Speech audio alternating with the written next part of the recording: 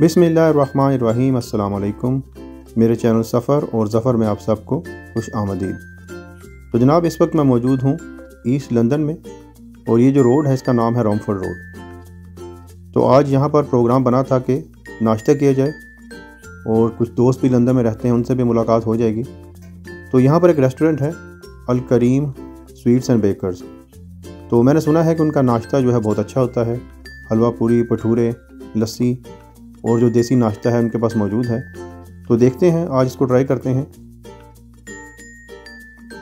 तो ये है जनाब Al Kareem sweets and bakers. और स्क्रीन पर आप इनका एड्रेस भी देख सकते हैं, ये रामफोर्ड रोड पर वाक़ है। और काफ़ी वैरायटी है इनके पास, मिठाइयों की भी। और इसके अलावा बिस्किट्स वगैरह सेवरीज इनके पास मौजूद हैं। और ये देखिए, सुबह का नाश्ता, हलवा पूरी, चना भटूरा तो आइए अभी अंदर जाके देखते हैं। और मैंने सुना है कि इनकी स्पेशल कश्मीरी चाय है, वो भी बहुत अच्छी है।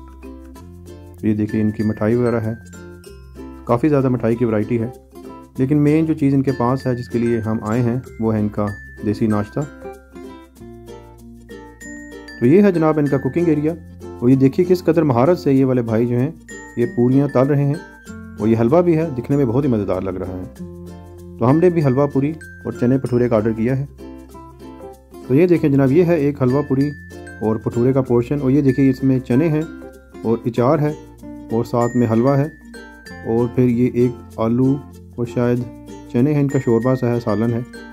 अब इसको ट्राई करके देखते हैं। साथ में हमने मंगवाया है इसके भटूरे और पूरियाँ और वो भी थोड़ी देर में आती ही होंगी। अब इसको खा के देखते हैं और फिर आपसे शेयर करेंगे कि मेरा एक्सपीरियंस जो है कैसा रहा। ख़ास तौर पर हलवा इनका बहुत ही मज़ेदार लग रहा है, और ये देखिए इसमें खोया भी डाला हुआ है। तो पहले मैं इसको वैसे ही ट्राई करके देखता हूँ। थोड़ा सा मैंने खोया भी लिया है। तो माशाल्लाह जनाब, बहुत ही मज़ेदार है। और मुँह में खोए का जायका भी आता है, साथ में हलवे का जायका भी आता है। और साथ में हमने ये मंगवाए हैं भटूरे और हलवा पूरी।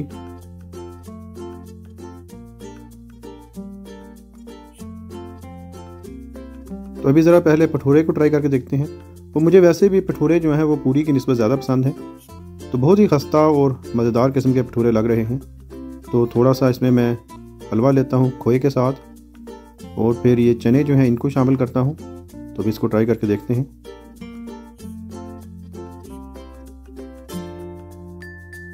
तो ये भी जनाब बहुत ही मज़ेदार है। हलवा, उसके अलावा चने और थोड़ा सा चार का जायका भी आ रहा है तो बहुत ही मज़ेदार है। यहाँ पर आपको लस्सी भी मिल जाएगी। तो मैंने पेड़े वाली लस्सी जो है, ये मंगवाई है। अभी इसको भी ट्राई करके देखते हैं।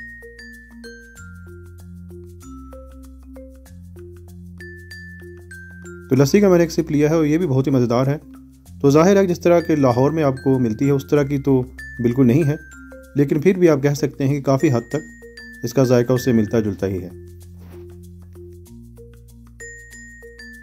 तो अभी ज़रा पूरी से दो दो हाथ करते हैं। तो इसको भी मैं ट्राई करके देखता हूँ। तो वैसे तो काफ़ी खस्ता और ये सॉफ्ट लग रही है। तो पहले इसमें थोड़ा सा हलवा और खोया लेते हैं। साथ में ही चार और फिर चने। तो ये देखें जनाब, अभी इसको ट्राई करके देखते हैं। तो पूरी भी इनकी काफ़ी मज़ेदार है। ओवरऑल अगर आप पूछें तो इनका जो हलवा पूरी और चने भटूरे का नाश्ता है, ये काफ़ी मज़ेदार है। अल्हम्दुलिल्लाह इनका नाश्ता बहुत ही अच्छा था तो हम सबने इसको बहुत इन्जॉय किया। और फिर साथ में दोस्तों की महफिल थी, गपशप चलती रही। तो बहुत ही अच्छा वक्त गुजरा।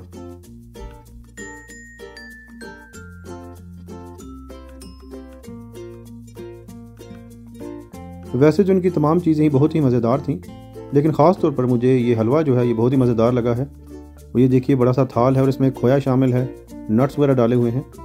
तो ये ख़ास तौर पर मुझे बहुत ही मुनफरद और मज़ेदार लगा है। तो थोड़ा सा मैं घर भी लेकर जाऊँगा पैक करके साथ में तो इन कल भी मैं इसी से नाश्ता करूँगा।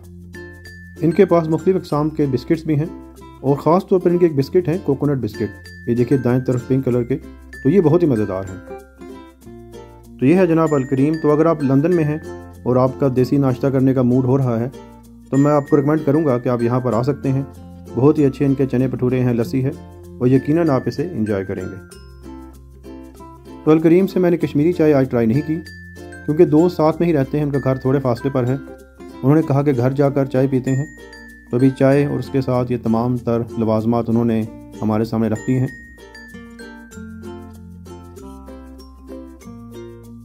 उम्मीद है मेरी ये वीडियो आपको पसंद आई होगी। तो जनाब, आगे बहुत ही एक इंटरेस्टिंग वीडियोस की सीरीज़ आने वाली है। मैं एक बहुत ही तारीखी और दिलचस्प मुल्क के ट्रिप पर जा रहा हूँ। तो वहाँ पर जाकर आपके साथ इंशाल्लाह वहाँ के खाने, वहाँ का जो वहाँ के तारीखी मकाम है वो आपके साथ शेयर करूँगा। तो इन सबको जानने के लिए सबसे बेहतर तरीका यह है कि आप मेरे चैनल को सब्सक्राइब कर दें, ताकि आपको नए वीडियोज़ के नोटिफिकेशन मिलती रहें। तो वो कौन सा मुल्क है ये आप अगली वीडियो में जान सकेंगे। तब तक के लिए खुदा हाफिज़। असलकम